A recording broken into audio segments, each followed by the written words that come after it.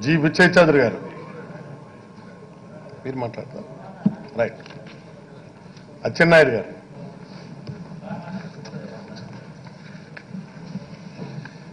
అధ్యక్ష గవర్నర్ గారి ప్రసంగానికి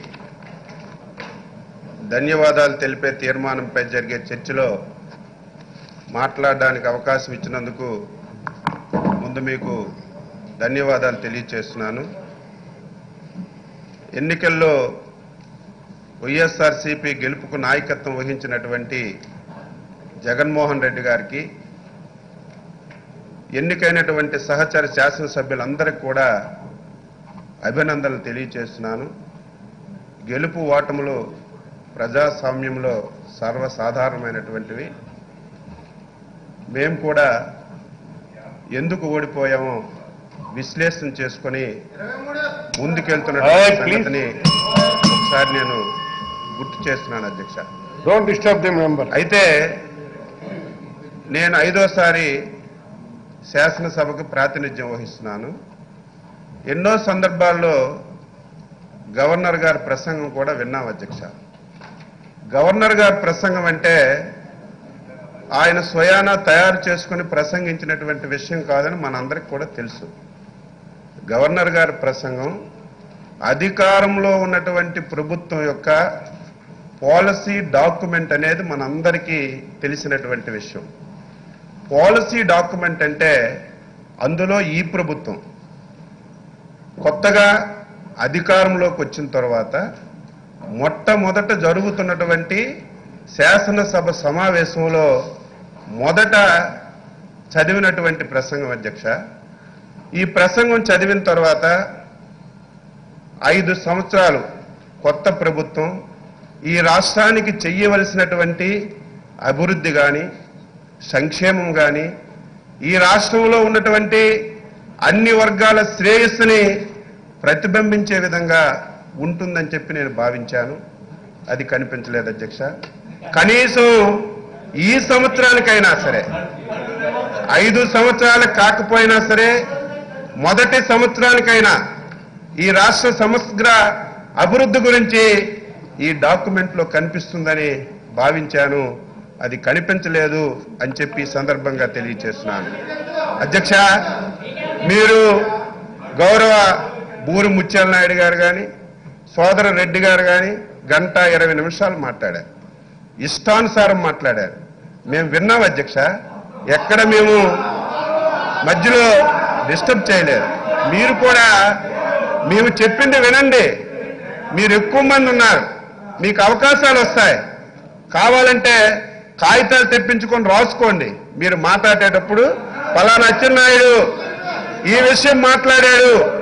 ఇది తప్పు అని మీరు చెప్పండి. ప్రజలు దాన్ని గమనిస్తారు. ఇది మనం శాసనసభ అంటే మనం ఏది మాట్లాడితే అదే నిజం అనుకోవడం చాలా పొరపాటు.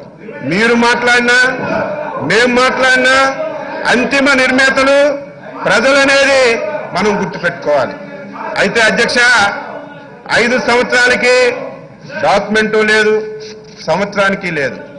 నేను ఇంకొక బాధ ఎక్కడ పడుతున్నానంటే మా ఐదు సంవత్సరాల ప్రభుత్వంలో మా యొక్క డాక్యుమెంట్ కూడా ఇప్పుడు ఉన్నటువంటి గౌరవ నరసింహం గారే ఐదు సంవత్సరాలు కూడా గవర్నర్ ప్రసంగం చేశారు. నిన్నటి వరకు మై గవర్నమెంట్ మై గవర్నమెంట్ అన్నారు. మా గవర్నమెంట్ బాగా చేసిందన్నారు.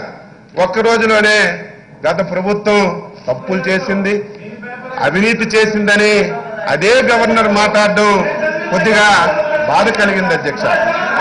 ఏది ఏమైనా సరే రాజేంద్ర నాయుడు గారు.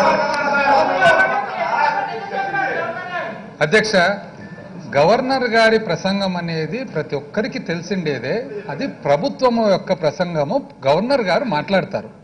రెండు వేల పద్నాలుగులో గవర్నర్ గారు మాట్లాడినారు.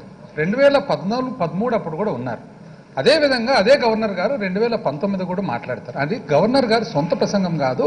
ప్రభుత్వం ఏ డాక్యుమెంట్ అయితే ఇస్తారో ఆ డాక్యుమెంట్ను గవర్నర్ గారు మనకు వినిపిస్తారు తప్ప కాదనేది. మళ్ళీ సీనియర్స్ కదా అధ్యక్ష వాళ్ళ ఐడియా ఉండాలి కదా.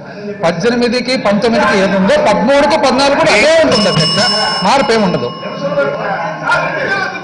సరే ఇది మీ మేనిఫెస్టో డాక్యుమెంట్ అని మీరు ఒప్పుకున్నందుకు నేను ఈ విషయం బయటికి రావాలని మాట్లాడాను అధ్యక్ష. ఇది మీ మేనిఫెస్టో అధ్యక్ష ఏది ఏమైనా? ప్లీజ్ ప్లీజ్ నాయుడు గారు మీ- నాయుడు గారు ప్లీజ్ ప్లీజ్ ప్లీజ్ ప్లీజ్ ఇప్పుడు మన గవర్నర్ ప్రసంగంలో ఉన్నటువంటి కంటెంట్స్ మీద మీరు వెళ్ళండి. కానీ గవర్నర్ గవర్నర్ గవర్నర్ గవర్నర్ నా no no no we have to we have to respect the governor please అది అన్నటువంటిది కాకుండా కంటెంట్స్ మీద మీరు మాట్లాడారు ముందు నలభై ఐదు నిమిషాలు మాట్లాడారు. రికార్డు తీయండి. ఒక పాయింట్ ఒక పాయింట్ గవర్నర్ ప్రసంగం మీద ఉంది అధ్యక్ష. ఇంకా మీ సభ్యులందరూ కూడా మేమేదో అధికారంలో ఉన్నట్టుగా మీరు ప్రతిపక్షంలో ఉన్నట్టుగా ఇంకా భ్రమలో ఉండి మాట్లాడుతున్నారు. మీరు కొద్దిగా మారండి. మీరు అధికారంలోకి వచ్చారు. ఏదో మా నాయకుడు మా చంద్రబాబు నాయుడు గారే రాష్ట్రానికి ముఖ్యమంత్రి లాగా మీరేదో ప్రతిపక్షంలో ఉన్నట్టుగా మీరు మాట్లాడుతున్నారు. ఓకే. ఐదు సంవత్సరాల అధ్యక్ష సమర్థవంతమైనటువంటి పాలన అందించామని నూటికి నూరు శాతం చెప్పగలుగుతున్నాం.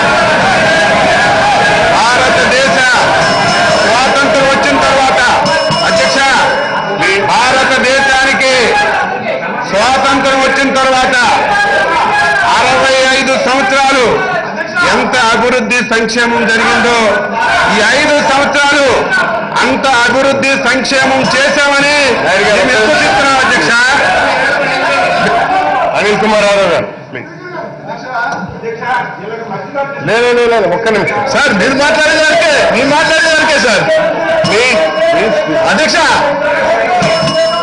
మా మంత్రి అచ్చెన్న మేం భ్రమలో ఉన్నాం మేం భ్రమలో ఉన్నాం అనుకోని ఫస్ట్ ఆఫ్ ఆల్ ఆయన ఇంకా కూడా వాళ్ళ అధికారంలో ఉన్న భ్రమలో ఉన్నారు అధ్యక్ష.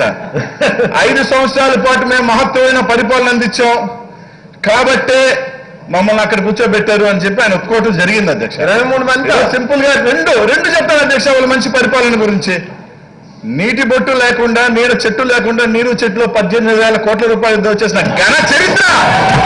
అధ్యక్ష అందుకే అందుకే ఒక అధ్యక్ష two minutes two minutes two minutes అధ్యక్ష.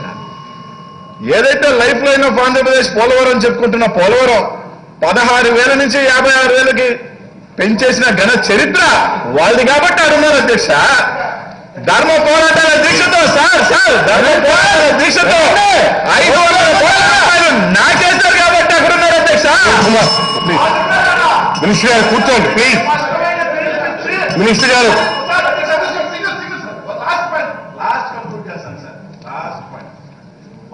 భ్రమపడుతున్నారు సార్. ఆలీబాబా నలభై దొంగల్లాగా ఆలీ బాబు ఇరవై మూడు మందిని మా చౌరాన్ని ఇక్కడ తీసుకున్నారు. కాబట్టి ఆలీ బాబు గారికి ఇరవై మూడు మందిని ఇచ్చారు అధ్యక్ష భగవంతుడు. ఫైనల్గా కూర్చోండి